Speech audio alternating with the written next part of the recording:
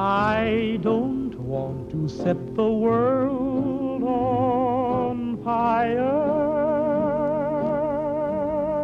I just want to start a flame in your heart.